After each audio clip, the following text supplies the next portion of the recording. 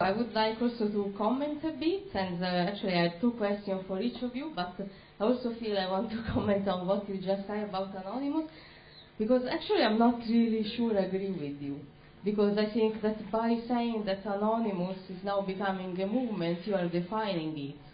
And actually, how can you define it, something that we don't know uh, who is part of? And I think that also from the other uh, project that you were described, I think still the trolling component, even if becomes, if you want, uh, totally, you know, incorrect, uh, is there. So I think if we risk to say, okay, now Anonymous is becoming this, uh, we are perhaps doing the same mistake that you are telling them they are doing. So uh, trying to be part of a mandate and a political agenda because how can you define something that uh, actually is not possible to define because we don't know who is uh, anonymous. I mean, everybody could be. And even with the early Luther briefs that you were showing, um, you never know who is part of anonymous. And uh, uh, this is uh, also what I think could be interest is totally interesting of this project because there is a total always uh,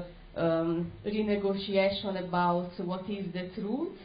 And so I think that even if I agree with you that the political component now is much stronger, and I would say also takes shape through the street protests and so on, still there is this moment in which we cannot actually define this specific entity, and by defining it, uh, you know, I think you are also making the mistake uh, that you are telling them they are doing because you are uh, putting a border on the possible practical practice that everybody actually could do. Yeah, but see, at least I, I see a kind of tension in, the, in the anonymous movement. Um, uh, what I was showing in the last slide is, is really uh, the, um, a speaker, a supposed speaker for Anonymous, making an official message on behalf uh, of Anonymous in the pose of a kind of news presenter. Yeah? And these have been the, the official mes- messages from, from, from Anonymous. You can ask yourself to which degree are they actually official. Yeah? Um, yeah. But, but the, the, symbolic language that is being chosen, the, the environment, is very clearly a struggle for power to say we are the official voice for, for Anonymous. And also, Anonymous has um, um, operated through a number of so-called operations or campaigns, you could say. Again, there was uh, uh, an attempt to kind of channel um, or uh, create one unifying or centralizing uh, narrative uh, for Anonymous. In that sense, I see uh, Anonymous as much more streamlined than um, other, let's say, multiple collective anonymous or pseudonymous networks or movements that, that, that, we are presenting here in this, this festival. I mean, I agree with you that anyone can put on the mask and do different things in the name of the mask and that this is happening, but at the same time, you clearly see that there are, let's say, strong actors within this network who, who, who try to deliver one message yeah, and control it, and then also de- uh, try to define who is part of it and who is not. Um, I go also to Victor, and I wanted to ask you something uh, related to the presence of mail art, because uh, uh, this is also a discussion we have been doing uh, some time ago about uh, how is changing mail art today with the emergence of uh, social network and social media.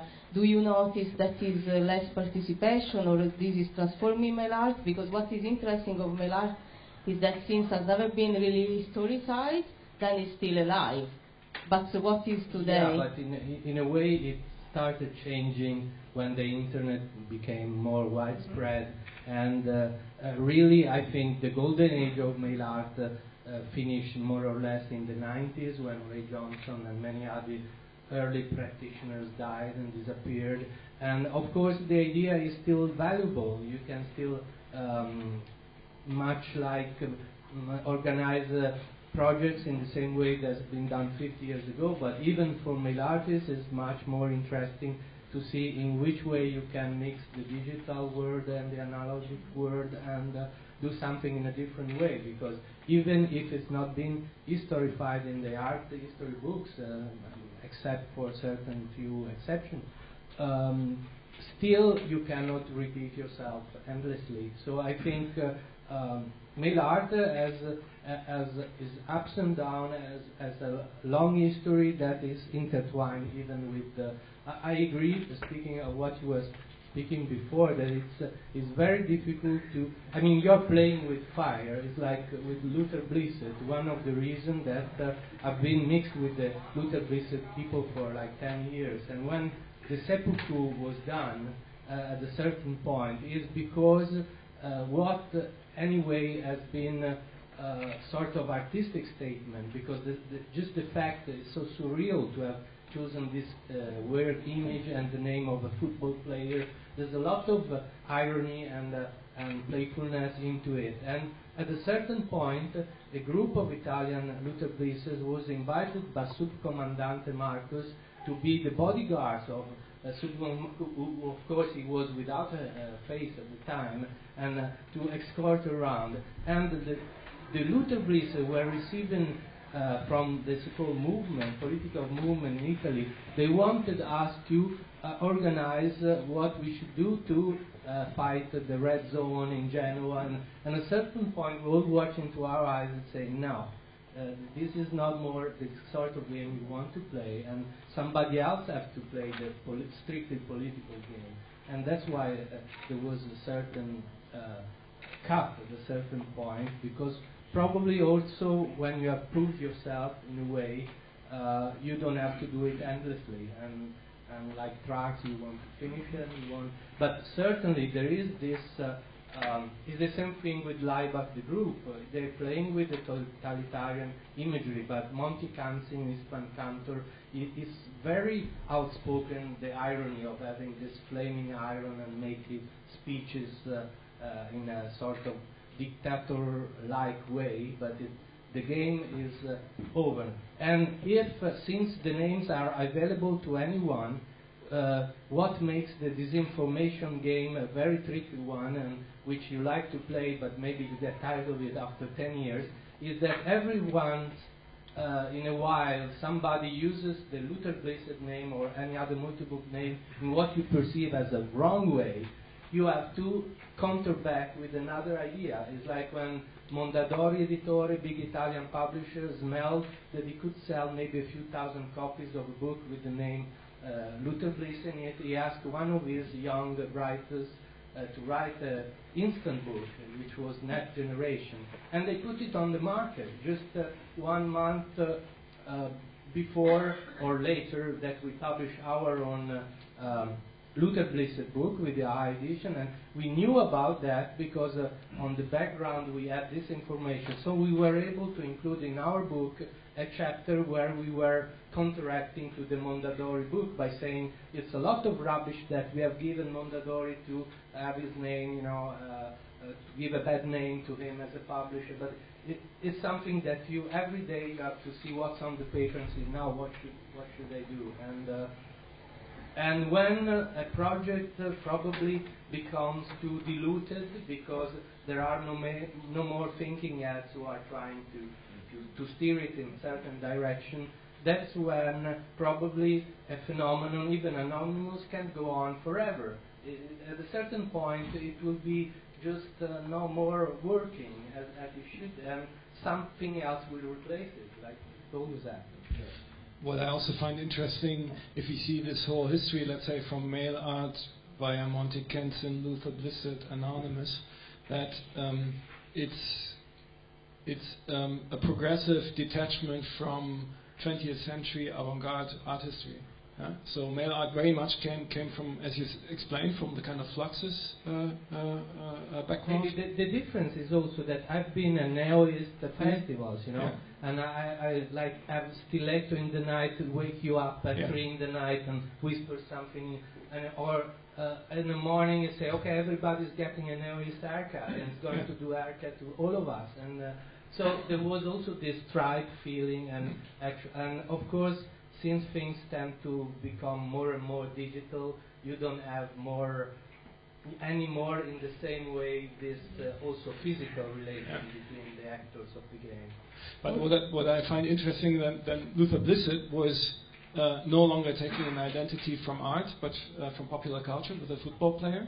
Um, and Anonymous was, was taking its identity, the Guy Fawkes mask, uh, from, from a popular comic, V for, uh, for Vendetta, which already had been adapted by Hollywood in, in, as a Hollywood movie. But it has all this occult uh, background because Yeah. Alan Moore is like a sorcerer. He's, he's not a common uh, uh, comics writer, no? So Right. But, but at the same time, Warner Brothers is, is in, that feeds into your uh, line of thought with the uh, connection of um, subculture and business. Warner Brothers is actually earning royalties with uh, every Guy Fawkes mask that's ge- getting sold because they have the rights on, on, on, the, on the design. I can also say something on this uh, discussion because time ago I was speaking with Simonetta Fadda. You remember she has been also translating in Italian books of Stewart Home, and she's a video artist. And I think she really gave uh, interesting uh, definition of this because she said that the avant-garde were really trying to bring uh, uh, life into art. Instead, when we speak about this movement, this project, they are bringing art into life, and I think this is the difference because many of the projects we are discussing here also are in the exhibition are not necessarily bounded to the art system, but is really part of the everyday life of all of us. When you decide to become Luther Blissett, it's not that you were speaking about art, you were Luther Blissett, you, you embody that and you act uh, under this name. And um, perhaps Neoism was a bit more connected with art, I would say, because some people were also doing exhibition and so on. But um, I think that also going on in this path, uh, also reaching Anonymous, we can really say that uh, many of these practices, even with punk, have to do with the everyday life. I, think, yeah. What I personally perceive of Anonymous, I'm not saying this because I want to say is better or is worse, but it's what is actually happening. Is uh, while in Neoism and other of these phenomena we have discussed, you can clearly see there are uh, art people thinking behind it. I don't see this in Anonymous because I would never have chosen that kind of image just because it's not cool, it's not nice. so, uh, but, so probably this kind of networking strategies are it may be good. They are going outside of the range of the artists and into people who are not uh, so much, uh, uh, I don't know, aesthetically uh, conscious of what they're doing. Otherwise, they would have presented themselves, yeah, in a more clever way. But um, uh, for me, yeah, I mean that's one aspect. But for me, the other aspect is also that of let's say um, the art system or art professionalism. Um, when Neoism started, then Istvan Kantor had the slogan "Neoism now," which he also shout, shouted in his songs and his performances. And then my friend, Tentatively a Convenience, who has been one of also the co-brains be- behind the Neoism part of the exhibition, uh, who had been in, involved in Neoism from the very early beginnings, uh, modified it into Neoism now and then, uh, uh, in the sense of uh, the idea is well, commitment to Neoism is not a lifetime commitment, but some people you know fade into it and fade out uh, into it, and that's also a very important difference with professional art because professional art is all about building your career, building your portfolio, bu- building your identity, um, and um, uh, th- then again, I think this is something I do, do not need to explain here because it was what impressed me most with Yugoslavian and Slovenian underground art in the 70s and 80s.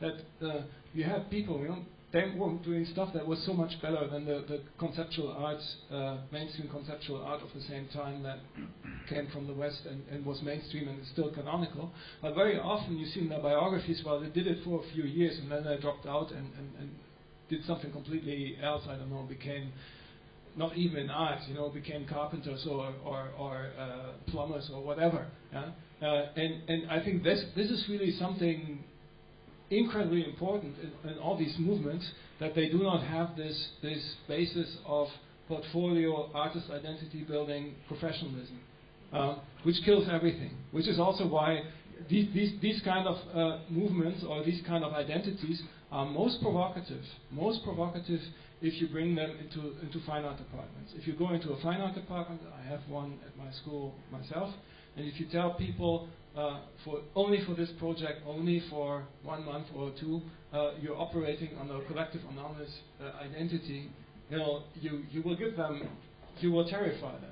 Yeah, it, it, it, yeah no, seriously, seriously. Or, or you will get really strong reactions because it means, you know, uh, uh, the, the, reason why you are in a postgraduate art program is to build your network, yeah, um, and, and to build your, your identity.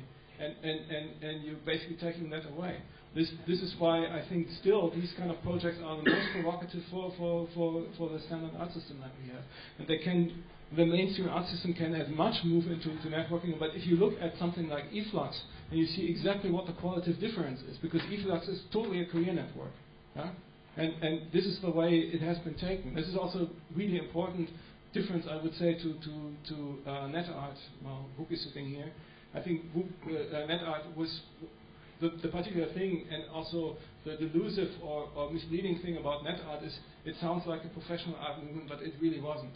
Yeah? Um, it, it, it, was about a, a similar di dynamic of you know zoning in and zoning out into this kind of collective uh, identity. Uh, as net artists in the mid 90s, we were aware of mail art. I was personally in touch with it big time, and also I knew a lot of uh, Luther Blissett, and I was doing part of that in, in this country. There was a a logical uh, camaraderie and uh, also awareness uh, regarding the previous intriguing networking ideas and ideologies. But what we also found very useful in 95, thanks to this crazy Dutch guy, Geert Lovink, uh, uh, was the concept of temporary autonomous zone by this bearded guy from New York. Uh, we all met in Budapest in 95, and we got a crash course in, in Taz, that was big in Italy as well at the time. Um, and this gave us a clue. Uh, outside, you know, we were all aware of, of the, exactly the trajectories in the Surrealist movement and in the Situationist International, as you described. And we also have seen uh, the, the, freshest example was a tragedy of grunge mu- music, uh, the grunge movement that uh, got appropriated and uh, instantly killed inside the same month it appeared. So the velocity of appropriation and, sudden death was uh, nearing, you know, Virilio's nightmares, like the, the uh, speed of light. So we were looking at stuff that could be uh, hard to appropriate and commodify. We were looking at personal strategies that would uh, help us avoid the traps of careerism and, you know, career orientation. And uh, what we understood as a good co- conceptual model was TAZ, was the idea of uh, trying to get together for a brief period of time, achieve uh, something if possible, and then split before two things happen. First thing would be to get uh, become visible and recognized, and uh, become to become a poster boy. And the second thing, uh, before you generate a hierarchy inside your own little group. I, I actually think we catastrophically failed in, with these both intentions. Now we do have a recognized pantheon of net artists, and also inside the net art bunch, not movement, not network, just a group of dots. Uh, we can now see, especially in retrospect, that there is a hierarchy of some sort. Uh, so uh, at least I know that the key point is that there's a time dimension, that each and every of these attempts is connected to uh, some expiry date, uh, and also the, the, the, point of knowing about what people did before, so you don't you don't repeat those mistakes uh, very much. Uh, we didn't we never repeated the mistakes of previous movements. We made them better. Yeah, Hakim Bey was very. I know we were all um, quite uh, knew his work, and uh, one Luther Blissett translated for Castelvecchi one of the books of his books, and actually even made apocryphal apocryphal Hakim Bey book. So that, that was in the 90s. Uh, you should maybe say that it was a fake Bey book. Yeah. It, it's not a real book. It was written by somebody. Written by Monty Cantsin. Exactly. And it appears exactly. to be Hakim Bey book, but it's exactly. not. And it was beautiful. The uh, attack, the conformism of counterculture, and exactly yeah, the I mean same. that's what we should always do, you know, because uh, when it, it beca- there's nothing that clicks and makes it different, then it has failed probably in any kind of action on, on a on a networking thing. Otherwise, just like Facebook.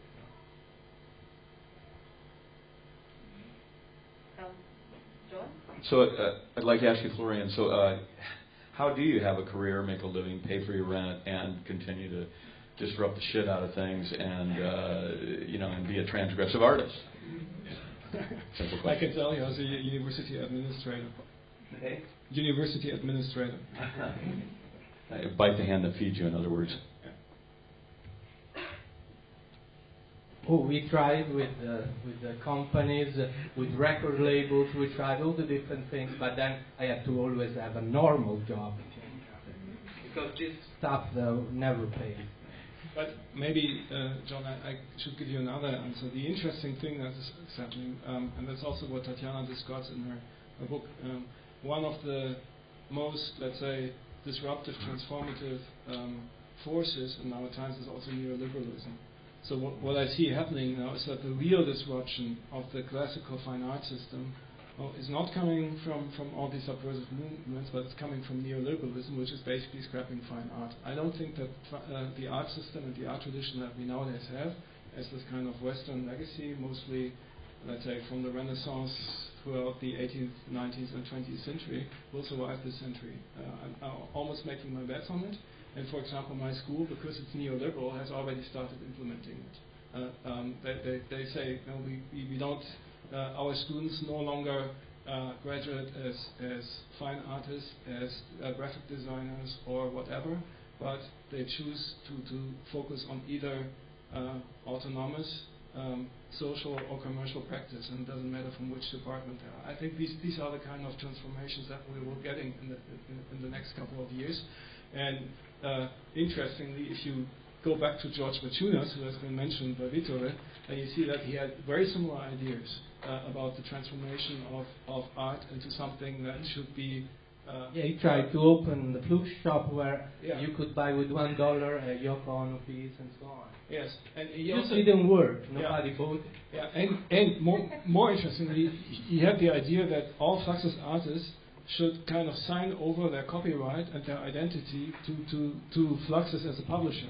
So it's basically like a total buyout contract, uh, and, and then it would operate as a, as a kind of uh, commercial uh, uh, cooperative, which from selling these inexpensive artworks would provide uh, um, a living uh, for all of the artists who were part of it. That was a great idea. But I spoke with many uh, surviving uh, Fluxus artists, and they all thought that George Maciunas was nuts for thinking about that. So they were not so cooperative. in that. But the business thing that you put on your diagram, uh, just otherwise it seems like we are so miserable. And uh, uh, I, I've been collecting all these magazine uh, fanzines for, for throughout my life, and even the one I've done. Uh, they acquired the value anyway through the decades because the Arte Postale magazine, I was able to sell the whole collection to big museums, and the single I, I single things from the Trax catalog I've sold to collector for hundreds of euros. So it's, it's not uh, there is a microeconomy inside even the most underground. Even if uh, money is never behind the intention, but then on a on a second uh, uh, on a second thought they acquire value anyway. And what you described as, as let's say, the, the principle of shows, everyone sends, sends in work, everything gets accepted, but in uh, return you get the documentation. That's also an economic model. Because economic is not about barter. money, it's It's about, ex- yeah, yeah, it's a barter, it's about exchange. So, um, and you could also say, um, well, just like Vuk said, there was a, in the end, there was a reputation system in, in, in net art. I would also say there was, was a, or is a, a reputation system in mail art, only that it's based on participation and networking. Yes, what I feel, uh, and I wrote about this often, is that uh, when you send something to other mail artists, you are not inside yourself. You are not thinking about uh, doing a barter, an exchange. It's still a gift you are doing, A- and that is very important because you, you don't think of art creation as a as a mm, object of value, but as something is a gift you have inside of you of doing that thing, and then you instead of keeping it, you send it to someone else. Then of course you get something back. But it's not so important as the fact that you are. Uh, it's like uh, the uh, Red Indians used to do the potlatch, you know, and, uh, and then you destroy your own house because you want to go. It, it becomes crazy, but it's uh, what uh, I think has kept alive this sort of idea and spirit of mail in 50 years is because there is something irrational behind it otherwise we would be clerk exchanging stuff. You know, like a, a little market is boring. Some other questions?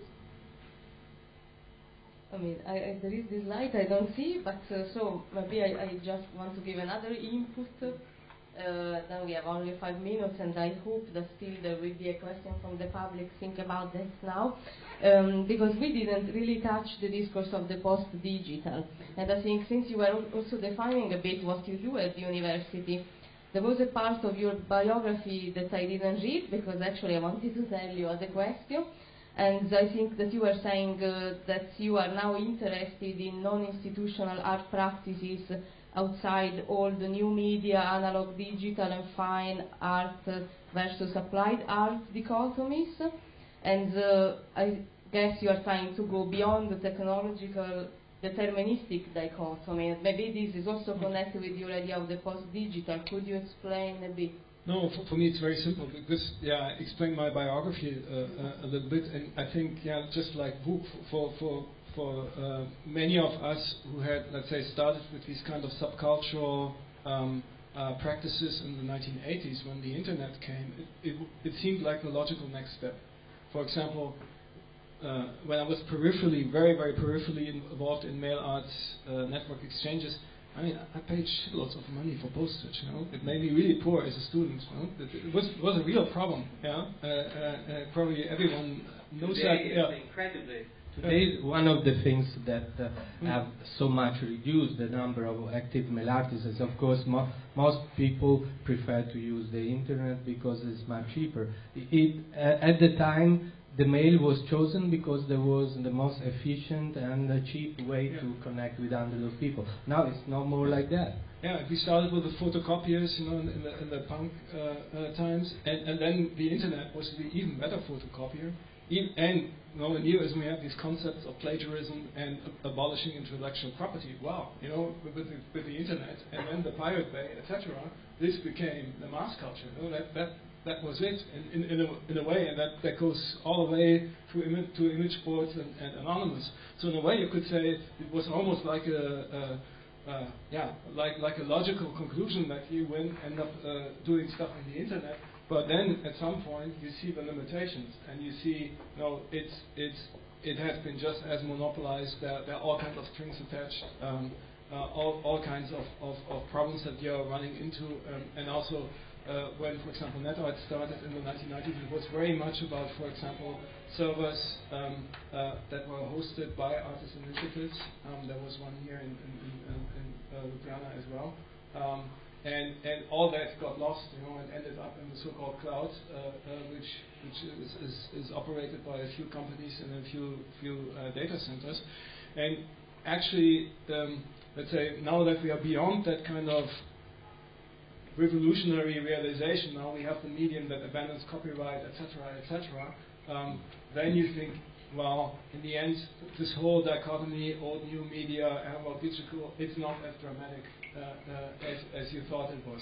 Um, it's, it's really not a big deal whether you, you know, whether you're using digital thermostats to, to, to, to exchange stuff, uh, whether using an image board or whether you're making a zine.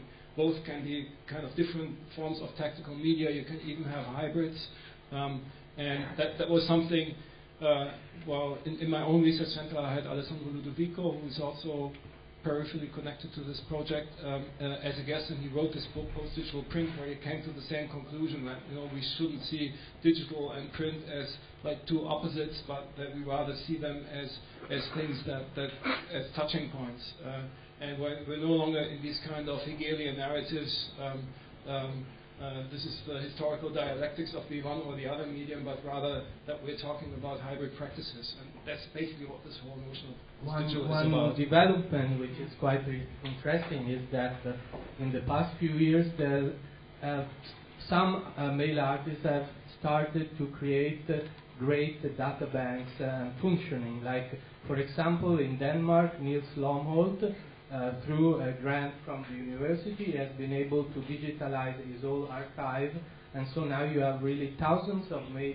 mail mailings that you can look up. And Georgi Galantai in Budapest has been growing the ArtPool uh, uh, website uh, to an incredible amount of, of data, and so uh, it is not so underground as it used to be. Even projects like uh, Istvan Kantor Multicancer a couple of years ago made a, a exhibi- retrospective exhibition about David Zack, who was the man who gave the concept of open pop style of Monty Cantsin a name. And this really underground, uh, incredible, uh, active uh, mail artist will run the risk of nobody had told this story. And uh, but there are other people like Al Ackerman and um, others that are waiting for some of us to make a retrospective uh, and make uh, a whole history of, of, what he has done throughout his life. So the network also function in helping the, the history to surface little by little.